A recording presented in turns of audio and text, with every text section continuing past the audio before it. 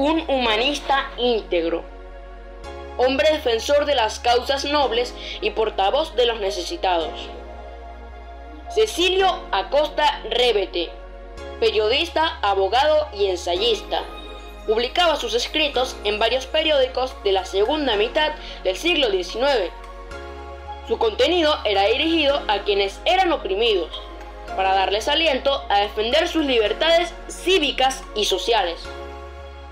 La obra completa de Cecilio Acosta es resguardado en la Biblioteca Nacional de Venezuela, siendo un personaje digno de estudio en la actualidad. ¡Vive TV!